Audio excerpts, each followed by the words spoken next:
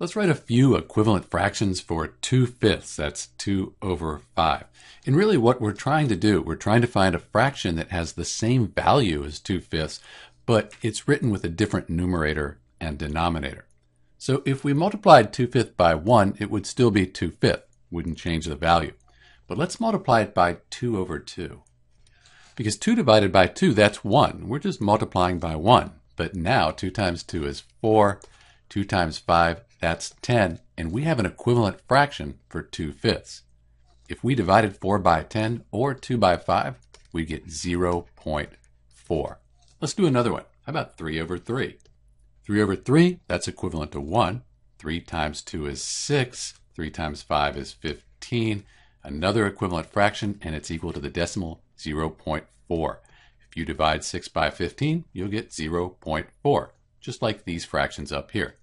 Let's do one more. How about 7 over 7?